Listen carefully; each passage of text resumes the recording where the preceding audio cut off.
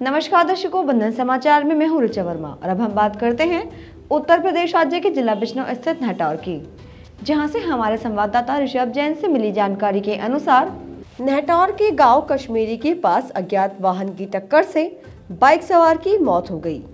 बता दें कि नगीना थाना क्षेत्र के गाँव मुठोपुर भरतपुर निवासी बयालीस वर्षीय शिवेंद्र सिंह धामपुर में एक दवाई की कंपनी में काम करता था।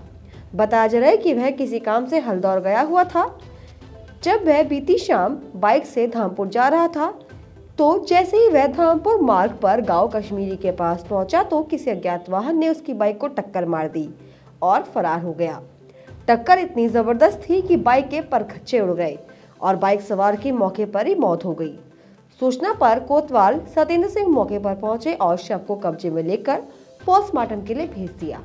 और इसी के साथ जुड़े रहे बंधन समाचार के साथ।